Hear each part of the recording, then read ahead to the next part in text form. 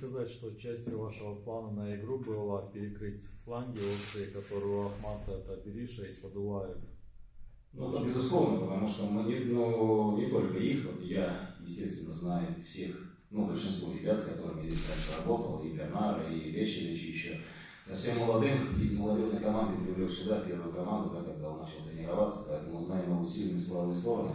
И, естественно, определенный акцент э, на то, их сильные стороны, был сделан, да, но самое главное, что мы старались играть, мы забили прекрасный гол после отличной комбинации этого Драгоусова, а дальше, естественно, уже характер э, был такой, что нам надо было играть очень дисциплинированно. А будет ли проведена какая-либо беседа с Минаховым и Макеевым по поводу их удаления? Ну, мы проанализируем. У нас э, дисциплинарные карточки, естественно, оказываются. Игровые карточки, они уже нюансы и смотреть. Конечно, то, что мы опять э, минус два игрока перед следующим туром, это не очень хорошо. Да, но с другой стороны, у нас уже подойдет Дима Баринов, у нас другие футболисты есть, которые тоже конкурируют, и появится шанс. И мы неоднократно говорим, что конкуренция это способствует определенному прогрессу. Поэтому для этого они тренируются и готовы дальше э, двигаться вперед и помогать команде. Александр, микрофон? Нет, нет, микрофона, так свободно. Павлович, Александр Матч ТВ, э, ну, наверное, во-первых, с победой, естественно, такой героической, но э, по удалениям, наверное, есть какие-то претензии, вообще вопросы, или все по делу?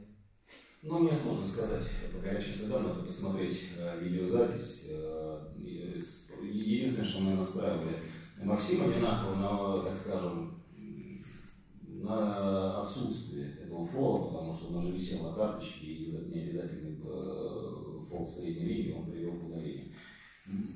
Поэтому с этой точки зрения, конечно, нам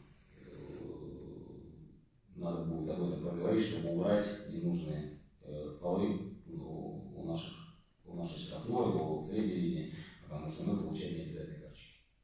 И, естественно, по Илье Лантратову вопрос, блестящий матч. Как думаете, вот этой игрой и в предыдущем матче он не заслужил ли вызов хотя бы, хотя бы включение в расширенный состав сборной? Коллеги, а, с одной стороны, как тренер клуба, естественно, мы э, хотим и будем э, развивать и стараться, чтобы наши футболисты э, показывали свои яркие качества игры, как тренер сборной России.